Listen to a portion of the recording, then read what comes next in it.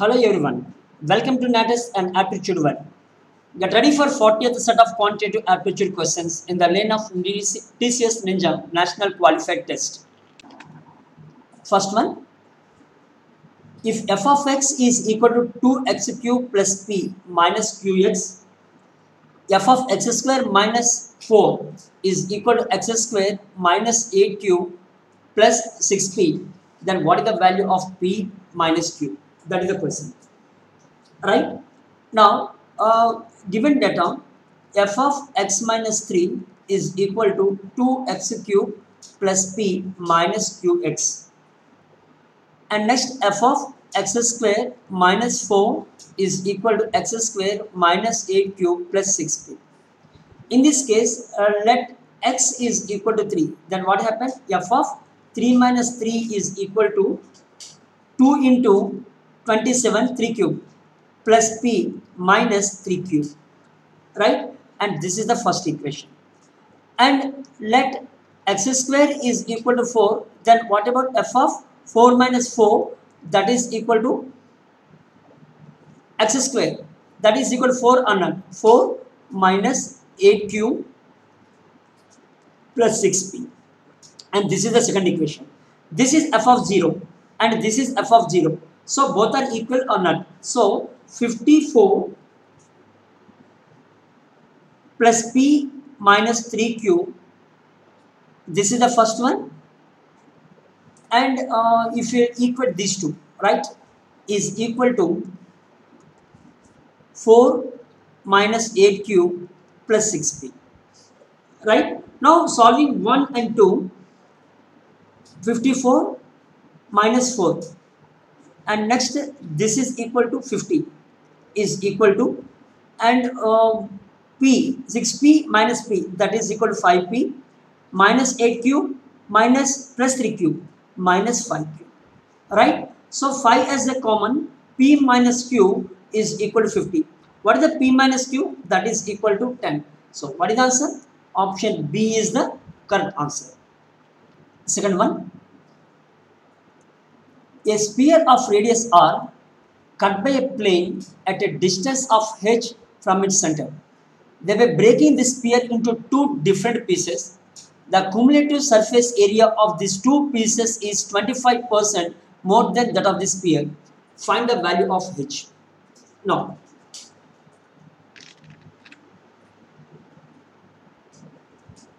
see and this is a one sphere and let us take this is a center. And next one plane is cut like this. And this is the center of uh, this enter sphere and this is the center of the uh, cutting plane. And what about this length? This is this length is equal to h. Let us take this length is equal to or this length and this length. This is nothing but a radius. And this is also radius or not. Let us take r and what about this one? This one is equal to r1 this length equal to r1 this length equal to height. And this radius is equal to r. Now what we require we want to find out h. That's what we require. Now what is the surface area of the sphere? Surface area of sphere is equal to 4 pi r square on earth. This is the surface area of this sphere. Now one plane is cut. Then what about the surface area? That equal to 25% more, more on earth. How it becomes to 25% more? This is the total surface area. Suppose if you cut here and what is the internal area? There are two circles are formed on earth. So total surface area of the two pieces is equal to 25% more than the previous one right? Now cumulative area of pieces area of pieces is equal to 25% more than more than the old sphere right? Now area of two pieces is equal to 25% that is equal to 1.25 on earth into 4 pi r square. So this is equal to 5 pi r square. This is the area of the two pieces. Right? And what is the extra area? Extra area is equal to 5 pi r square minus 4 pi r square that is equal to pi r square r. That is the extra area. Now, what we require? We require this height, right? This extra area is nothing but a area of this circle and that is through two parts on it. That means area of each circle, each circle that is equal to plane, okay, uh, that is equal to pi r square by 2. Now, what we require, that radius of, let radius, already we discussed, of new circle, new circle is equal to R1. Now, what is the area of this new circle? That is equal to pi R1 square on it. According this one, this is equal to pi R square by 2 on it. Therefore, pi R square by 2. Here, pi, pi gets cancelled. And that implies R1 square is equal to R square by 2. That implies R1 is equal to R by root 2. R by root 2. So this is the radius and this length equal to r by root 2. What we require h. How will you get? That is hypotenuse minus this side or not. So h is equal to h square is equal to hypotenuse square r square minus what is the r1? That is equal to r by root 2 whole square. Right? So this is equal to 2 to r square minus r square. So h square is equal to r square by 2. What is h? That is equal to r by root 2. Option A is the correct answer. Third one, a man sold horse at a loss of 7%. Had it been able to sell at a gain of 9%, it would have fetched 64 rupees more than it did. What is the cost price of the horse? A simple question, let us take cost price is equal to 100. Now SP1. What is the SP1? At the rate of 7% loss. So that is equal to whatever that is equal to 93 on it.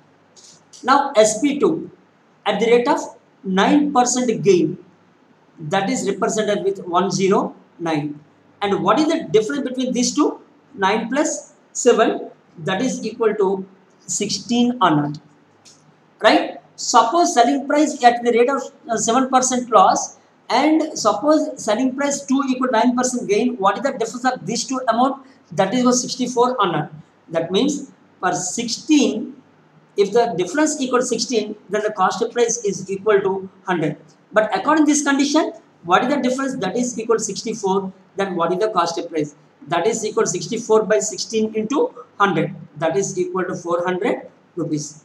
Option C is the correct answer. Fourth one how many trailing zeros? Zeros at the end of the number of 60 factorial have. Is very simple question. Or uh, no need to do or no to learn entire concept. It's a very simple. You must remember this is smart uh, and smart shortcut uh, suppose if you want to 60 factorial 60 factorial. First you will divide this 60 with uh, what we require trailing zeros. When we'll get 0 that is we will take a product of 2 and 5 on it now you will check how many 2's are there and how many 5's are there. Now here this nothing but a we will find out the highest power of 2 and we will find out the highest power of 5 in these two cases which power is smallest that is the represents the number of trailing zeros already explained in the previous videos also now obviously uh, the number the power of the 2 is more than the power of 5 or not so no need to calculate uh, the power of 2 now we will calculate power of 5 how will you calculate? Just you will divide this 60 with 5. That quotient is equal to 12. Now you will check whether this number is more than 5 or less than 5 or more than this number or less than this number. Suppose this number is more than this number. Now again you will divide this 12 with 5 and what is the quotient that is equal to 2. Now you will check whether this number is more than 5 or not. This number is less than 5. Just stop it. So 12 plus 2, 14 is the answer. Suppose this is equal to 5. Again you will divide that 5 with 5. Right? So suppose this number is less than this denominator. Then you will stop here only. So 12 plus 2 that is equal to 14. Option A is the correct answer. Fifth one. The HCF and LCM of two numbers is 21 and 4641 respectively. If one of the number is lying between 200 and 300, the two numbers are. Suppose this condition is not there, answer must be can't be determined. But a condition is there. Why? Because one number is 200 and another one is the 300. Now, in between these two numbers are not. Now we know that the product of two numbers is equal to product of their LCM and HCF or product of A and B, A into B is equal to product of their LCM and HCF, right? So, LCM of AB into HCF of AB, right?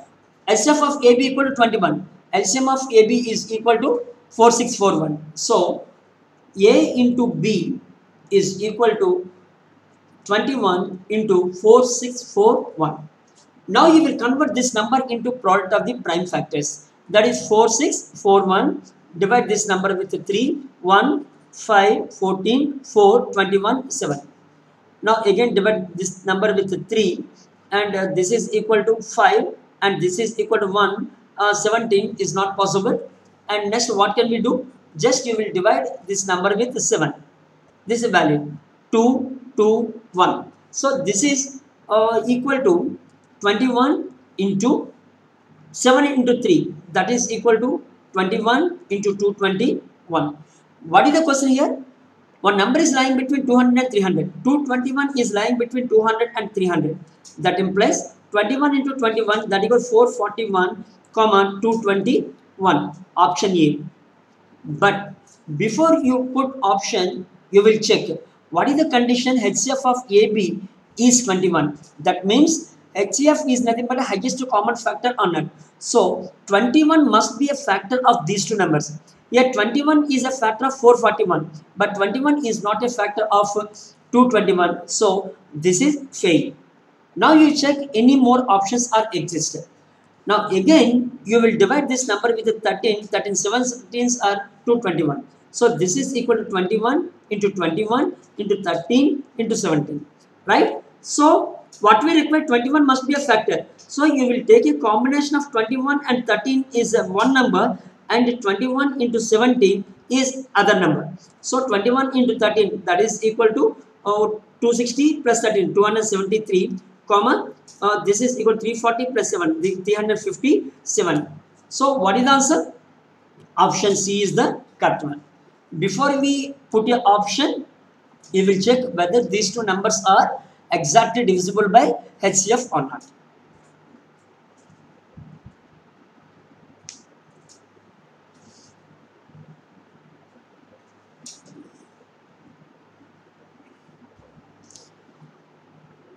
That's all for today. We'll meet again on next video with new topic. Thank you one and all.